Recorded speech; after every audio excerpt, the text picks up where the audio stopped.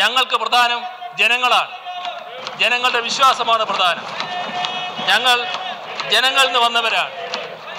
ആ ജനങ്ങളിലേക്ക് തന്നെയാണ് ഞങ്ങൾ ഇറങ്ങുന്നത്. അങ്ങനെ പറഞ്ഞ് ഇടതുപക്ഷം ജനങ്ങളിലേക്ക് ഇറങ്ങി.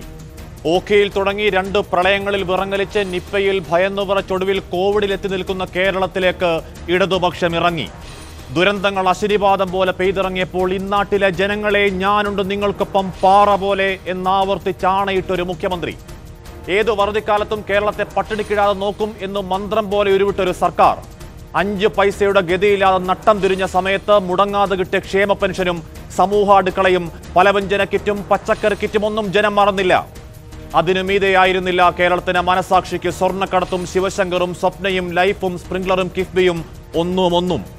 പത്തോളം അന്വേഷണ ഏജൻസികൾ പത്മവ്യൂഹം തീർത്തപ്പോഴും വികസനത്തെക്കുറിച്ച് മാത്രം പറഞ്ഞുകൊണ്ടിരുന്ന പിണറായി വിജയന്റെ വിജയമാണ് ഇന്നലെ കണ്ടത്.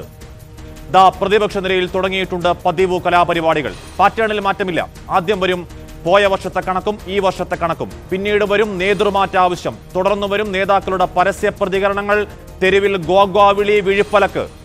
ഇത്രയും അനുകൂല രാഷ്ട്രീയ സാഹചര്യം ഉണ്ടായിട്ടും മുതലാക്കാൻ കഴിയാത്ത പ്രതിപക്ഷത്തിന്റെ ഭരണമാറ്റ സ്വപ്നം സ്വപ്നമായി അവശേഷിക്കുമോ?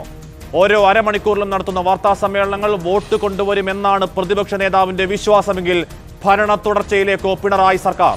പ്രിയ പ്രേക്ഷകർക്ക് സൂപ്പർ പ്രൈം ടൈമിലേക്ക് സ്വാഗതം.